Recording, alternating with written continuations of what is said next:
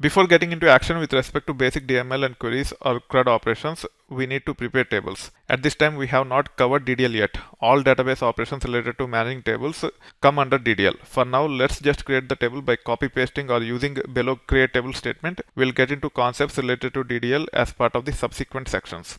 To create the table, we have to connect to the database and have to run this statement to create the table. The statement looks like this. So you can actually use the Jupyter based environment also to connect to the database as long as you have something called as SQL Magic. In our environment, we have already set up and hence I'm using it. But if you are not comfortable with Jupyter, you can also use uh, SQL Workbench and you can actually perform most of these steps using SQL Workbench.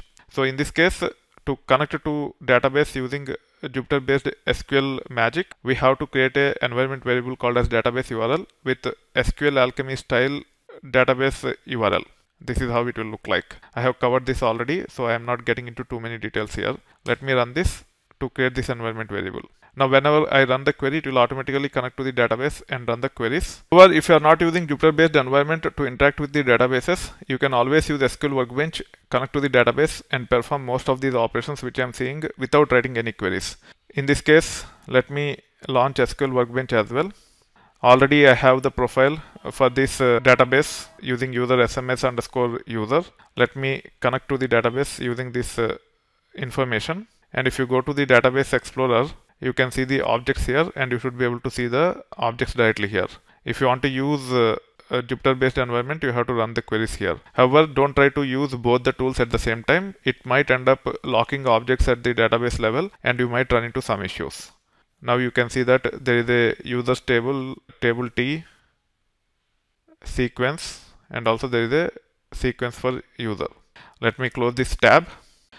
Now if you want to get similar information using Jupyter based environment, the only way is to write the queries. If you do not write the queries against metadata tables or information schema tables, you will not be able to get the details about tables, columns, etc.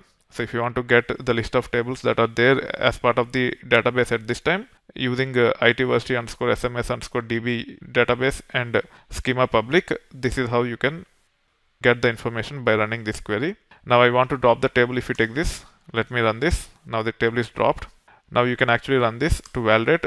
You can see that there is only one table by name t. If i go back here and if i go to the database explorer i will be seeing only one table here by name t you can see here there is a table by name t and a sequence ti sequence users and user sequence are already dropped now i can actually create the table using this command don't worry too much about uh, the command just run it now you can actually go to the SQL workbench and uh, refresh this. You should be able to see the users table and the sequence related to users table which is nothing but user ID sequence. It will show up in a moment.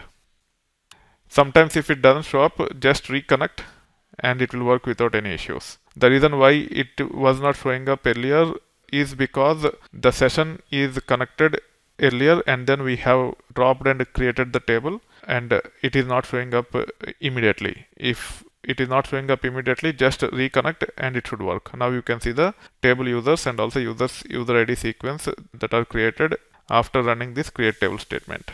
Now you can scroll down and you can actually run this query to validate that there is a table by name T. If you want to get the details about sequences, you need to understand what is that view which have the sequence related information and you can take it further. You can get the column level details for users by running this query. You can see there are 10 columns here. User ID is uh, the one which is populated using sequence. All the information is provided here. Actually, the wizards which you see here are primarily based on the metadata views such as uh, columns, tables, etc.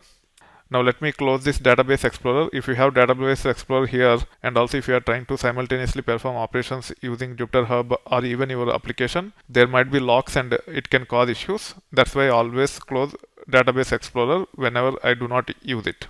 Now I can actually run this query called as select star from users as we have just created the table and uh, have not populated any data into the table. It is not returning anything. Once we populate the data in this table, we should be able to see the results when we run the queries against this table. As we are done with create table, now let's talk about inserting data into the table. We'll be using users itself to insert data into the table.